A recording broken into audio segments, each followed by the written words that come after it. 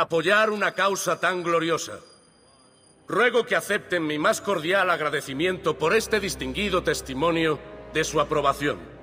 Pero si acaeciera algún suceso desafortunado, desfavorable a mi reputación, ruego que sea recordado por todos los caballeros de la sala que yo, en este día, declaré con absoluta sinceridad que no me considero a la altura del mando con que se me honra.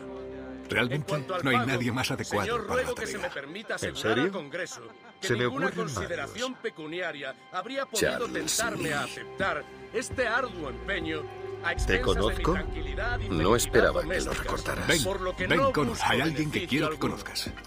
Mantendré un apunte exacto de mis gastos Siento haberte tenido que que no separar tengo así. ninguna duda me serán Pero lo último que necesitamos es una pelea entre deseo. vosotros. Connor, permíteme presentarte a nuestro recién nombrado comandante en jefe, George Washington. Ah, así que eres el que salvó a Sam y John en Lexington. Los patriotas hicieron eso.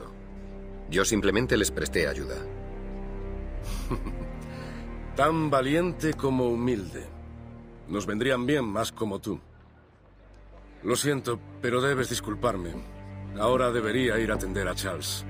Parece descontento por no haber recibido el mando como esperaba. Me alegro de conocerte, Connor.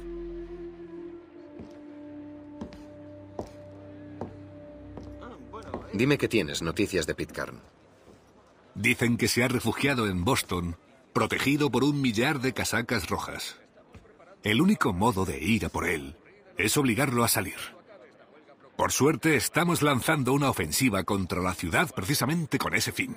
Israel Putnam está al mando de nuestras fuerzas. Enséñale esto y te proporcionará la ayuda que necesites. Lo encontrarás en el campamento de Bunker Hill. Te lo agradezco mucho. No es necesario. Es lo menos que puedo hacer. Pitcairn es peligroso. Cuanto antes nos libremos de él, mejor. Podría decir lo mismo de Charles Lee. Eso es algo totalmente diferente.